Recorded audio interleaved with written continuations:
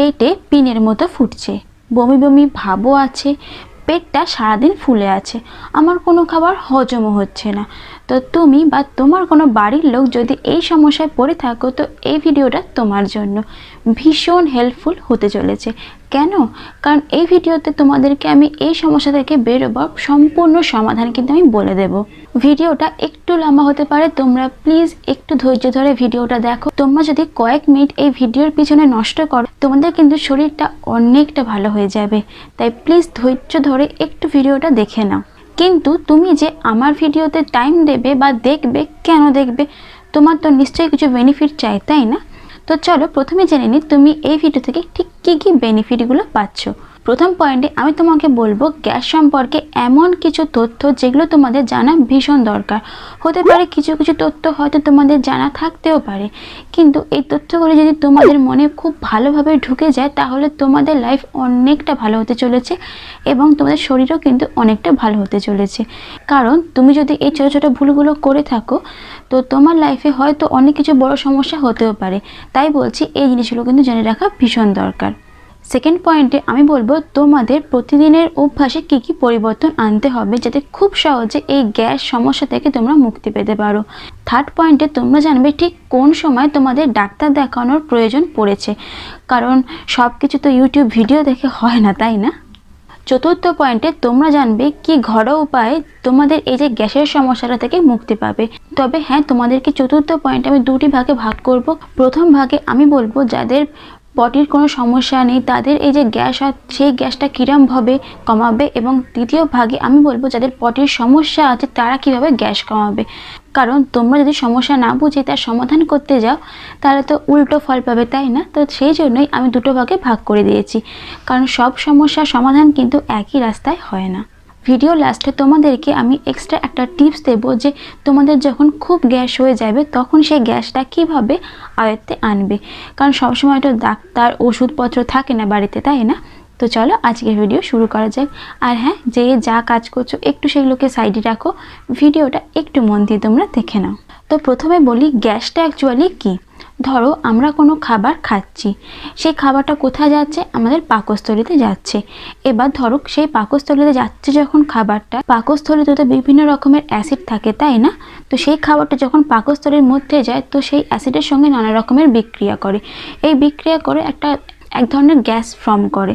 সেই গ্যাসটা আমাদের অন্ত্রের মধ্য দিয়ে বায়ুপথে বেরিয়ে যায়।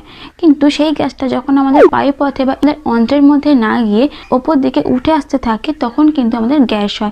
তখন পেটটা ফুলে থাকে। এটাকে সাধারণত আমরা গ্যাস বলে থাকি। তো চলে আসি প্রথম পয়েন্টে। মানে কি? গ্যাস সম্পর্কে কিছু তথ্য। তোমরা অনেকেই জানো গ্যাস কেন হয়? তেল, ঝাল, মশলাযুক্ত খাবার খেলে জল কম খেলে, পেট ঠিকঠাক, পরিষ্কার না হলে। এই কারণগুলো ছাড়াও ধরো তুমি কোনো তেল মশলাযুক্ত খাবার খাওনি, কিন্তু তবুও তোমার গ্যাস হচ্ছে। কেন হচ্ছে? কারণ তুমি যা খেয়েছো আজকে তোমার বডি সেইগুলোকে নিতে পারছে না। মানে তোমাদের বডি সেটা পছন্দ হয়নি, তো পছন্দ না হলে কি করবে? সে সেটাকে হজমও করাবে না। ওই জন্য তোমাদের গ্যাসটা ফর্ম হচ্ছে। তো এক্ষেত্রে তোমাদেরকে একটু বুঝে শুনে খাবার খেতে হবে। এছাড়াও কমন কী কারণে গ্যাস হয়? বেশি ওজন হলে প্রেগনেন্সির সময় অথবা খুব টেনশন করলে। এছাড়াও ধরো তুমি কোনো রকম পার্টিকুলার ওষুধ খাচ্ছ, ডাক্তারের প্রেসক্রাইব করা। তাতেও কিন্তু তোমাদের গ্যাস হতে পারে। যদি তোমাদের এরকম ডাক্তারের প্রেসক্রাইব করা কোনো ওষুধ খেলে গ্যাস হয় তাহলে আমি বলব তুমি ইমিডিয়েটলি ডাক্তারের সঙ্গে কনসাল্ট করো। তুমি তাকে জানাও যে তোমার এই ওষুধটা খেলে তোমাদের এই সমস্যা হচ্ছে। তিনি সেই ওষুধটা তোমাদেরকে চেঞ্জ করে দিতে পারেন। আর একটা কি, আমাদের কিছু কিছু মানুষের অভ্যাস থাকে, গ্যাস হলেই ধরো কিছু ওষুধ খেয়ে নিই। অ্যান্টাসিড জাতীয় ওষুধও আমরা খেয়ে থাকি, কিন্তু এটা করা যাবে না। তুমি তাৎক্ষণিক আরামের জন্য যদি এই ওষুধগুলো খেতে থাকো, তোমার কিন্তু ভবিষ্যতে গিয়ে অনেক বড় রোগ হতে পারে। হ্যাঁ ক্যান্সারও কিন্তু হতে পারে। তো প্লিজ ডাক্তার না দেখে এই ধরনের ওষুধ খাওয়ার কিন্তু চেষ্টা একদমই করো না। কারণ ভবিষ্যতে এই সমস্যাগুলো হলে কিন্তু তখন আর কোনো রাস্তা থাকবে না নিজেকে ঠিক রাখার। তো এখন থেকে বারণ করছি, এই জিনিসগুলো কিন্তু একদমই করো না। তোমরা আমি যেগুলো বলছি, তোমরা সেগুলো ইউজ করো, অবশ্যই কিন্তু ফল পাবে। কারণ এগুলোর কোনো সাইড এফেক্ট নেই। এবার বলব আমরা দ্বিতীয় পয়েন্ট দ্বিতীয় পয়েন্টটা কি? আমাদের প্রাত্যহিক জীবনে কি কি নিয়ম আমাদেরকে মানতে হবে বা কি কি নিয়ম আমাদেরকে চেঞ্জ করতে হবে? এখানেও তোমাদেরকে আমি কিছু পয়েন্ট পয়েন্ট করে বুঝিয়ে দেবো, তোমরা কিন্তু ভালো করে একটু শোনো। প্রথম, খাবারের সময়টাকে কিন্তু ঠিক রাখতে হবে। মানে লাঞ্চ তোমাকে অন্তত বারোটা থেকে একটার মধ্যে করতে হবে এবং ডিনার তোমাকে অন্তত আটটা থেকে নটার মধ্যে সেরে নিতে হবে। যাদের বিশেষ করে এই গ্যাসের সমস্যা হচ্ছে। দ্বিতীয় কথা কি? আমাদের অনেকেরই অভ্যেস আছে খেয়ে উঠেই কিন্তু শুয়ে পড়া। এটা করলে আমাদের হজমের সমস্যা হবে এবং আমাদের শরীরে গ্যাস ফর্ম করবে। হজম না হলে কী হবে? গ্যাস তো ফর্ম করবেই।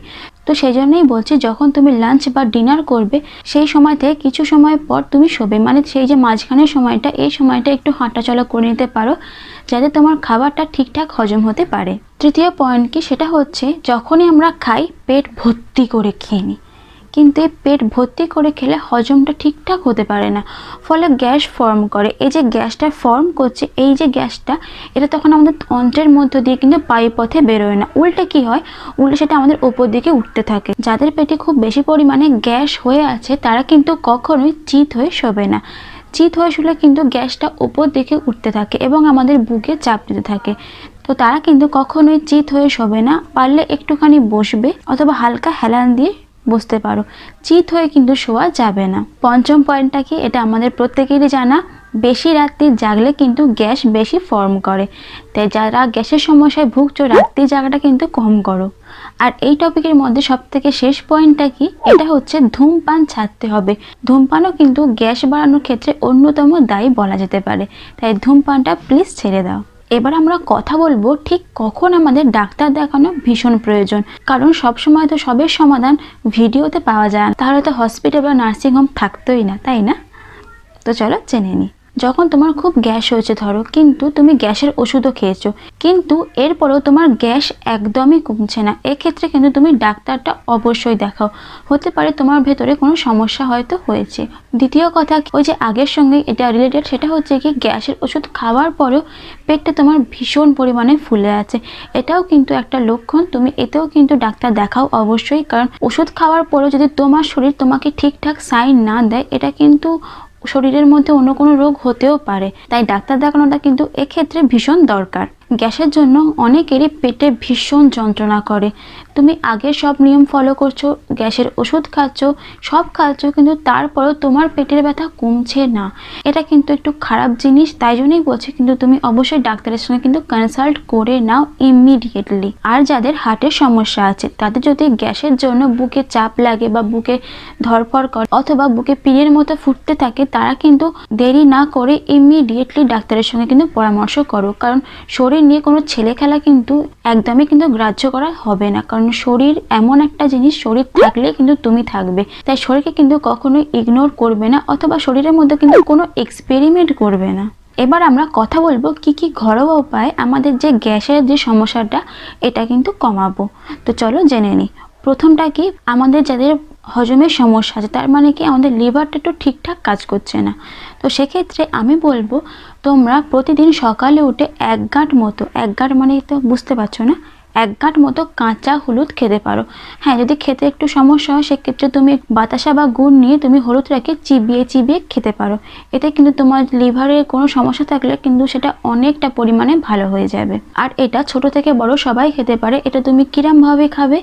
তুমি এক সপ্তাহ টানা এই কাঁচা হলুদটা খেলে। তারপরের এক সপ্তাহ কিন্তু তুমি আর খাবে না। আবার তার পরের এক সপ্তাহ খাবে, আবার তার পরের এক সপ্তাহ খাবে না। এরমভাবে তোমাকে কিন্তু চালিয়ে যেতে হবে। আর হ্যাঁ কাঁচা হলুদটা খেলে তুমি অবশ্যই উপকার পাবে। আর কাঁচা হলুদ, তোমার শুধু গ্যাসটাকেই ঠিক করবে, এটাই না। তোমার শরীরের আরও অন্য কোনো সমস্যা থাকলে সেটাকেও ঠিক করবে এবং তোমার ত্বক এবং তোমার চুল ভীষণ সুন্দর হয়ে যাবে। দ্বিতীয় উপায় কি? এটা কাদের জন্য? দ্বিতীয় উপায়টা হচ্ছে যাদের পেটটা ধরো গরম হয়ে আছে অথবা যাদের পেট ফুলে আছে এবং যাদের পেট ভার হয়ে আছে তাদের জন্য। তারা কি করবে? তারা রাত্রির বেলা শোবার আগে এক গ্লাস জলে কিছু পরিমাণ মিছরি এবং কিছু পরিমাণ মৌরি দিয়ে দেবে। যেরকম করে আমি এখানে দিচ্ছি। এটা সারা রাত্রির ভিজিয়ে রাখবে এবং সকালবেলা উঠে খালি পেটে খেয়ে নেবে। এবং এটা খাওয়ার পর কিন্তু তুমি আধ ঘণ্টা কিচ্ছু খাবে না, তারপর তুমি সব কিছু খেতে পারো। এটা তুমি কন্টিনিউ করতে পারো। তোমার যদি খুব সমস্যা থাকে, এতে কিন্তু তোমার কোনো সাইড এফেক্ট হবে না। তৃতীয় উপায় কি? এটা কাদের জন্য? তৃতীয় উপায়টা হচ্ছে যাদের পেটের সমস্যা আছে। মানে যাদের পায়খানা ঠিকঠাক পরিষ্কার হয় না, যাদের কোষ্ঠকাঠিন্য বা কনস্টিপেশন আছে, তাদের জন্য। তোমাদেরকে কতগুলো হর্তুকি কিনে আনতে হবে। হর্তুকি এখানে দু রকমের হয়। কতগুলো বড় বড় হর্তুকি হয় এবং কতগুলো ছোট ছোট হর্তুকি হয়। তুমি যে হর্তুকি পাবে সেটাই কিনবে বাজার থেকে। যদি তুমি বড় হর্তুকি পাও, সেক্ষেত্রে দুটো হর্তুকি নেবে এবং যদি তুমি ছোট হর্তুকি পাও, সেক্ষেত্রে তুমি চারটে হর্তুকি নেবে। এটাকে কি করতে হবে? রাতের বেলা প্রথমে তোমাকে আগে হত্যুকিগুলো ভালো করে ধুতে হবে এবং হত্যুকিগুলোকে একটু ভাঙতে হবে। পুরোপুরি একদম ধুলোর মতো করে ফেলবে না জাস্ট ভেঙে দেবে। যাতে ভেতরের মাল মশলাগুলো একটু জলের সঙ্গে মিশতে পারে। এবার এটাকে একটা গ্লাসের মধ্যে জলের সঙ্গে সারা রাত্রি ভিজতে দেবে যেরকম করে আমি এখানে দেখাচ্ছি। এবার সারা রাত্রিরে এর মধ্যে যা যা গুণাগুণ আছে সেটা জলের সঙ্গে মিশে যাবে এবং তুমি সকালবেলা উঠে এই যে জলটা, এটা খালি পেটে খাবে। আবার কি? আবার তোমাকে কিন্তু খালি পেটেই খেতে হবে এবং তোমার আধ ঘণ্টা পর্যন্ত কিন্তু তুমি কিচ্ছু খাবে না জাস্ট খালি পেটে থাকবে। আধ ঘণ্টা পর তুমি সব কিছু খেতে পারো। কিন্তু এই যে হত্যুকের জলটা, এটা কিন্তু তুমি ম্যাক্সিমাম তিন দিন কন্টিনিউ করবে, তার বেশি কিন্তু করবে না। তাহলে কি হবে? তোমাদের লুজ মোশন হতে শুরু হয়ে যাবে। যদি তোমার সমস্যা মিটে যায়, তো খুব ভালো কথা। যদি না মেটে, তাহলে আবার দু চার দিন ফাঁক দিয়ে তুমি আবার এই হত্যুকি জলটা খেতে পারো। তিন দিনের বেশি কিন্তু খাবে না। আমি কিন্তু বারবার বলছি, এতে কিন্তু লুজ মোশন হতে পারে। এটা শুধু তোমার পায়খানা বা পরিটাকে ঠিকঠাকভাবে বেরোনোর জন্য এটা কিন্তু ভালো কাজ দেয়। এতে তোমার গ্যাসটাও কিন্তু ফর্ম করবে না। আর হত্যুকির তো অনেক আরও গুণ আছে। এতে তোমার কোনো সাইড এফেক্টও হবে না। কিন্তু হয় তিন দিনের বেশি কিন্তু করো না। শেষে তোমাদেরকে যেটা বলেছিলাম যে একটা ইনস্ট্যান্ট সলিউশন তোমাদেরকে আমি দেবো। সেটা হচ্ছে, ধরো তোমার পেটে ভীষণ পরিমাণে গ্যাস হয়েছে, তখন তুমি ইনস্ট্যান্টলি তোমার হাতের কাছে ওষুধও নেই, ডাক্তার নেই, তখন কি করবে? সবাই বাড়িতে মুড়ি তো থাকে, তাই না? তখন যখন তোমার গ্যাসে ভীষণ কষ্ট দেবে, তখন তুমি একটা ছোট বাটির এরকম মুড়ি নিয়ে মুড়িটাকে চিবিয়ে চিবিয়ে খেয়ে ফেলবে।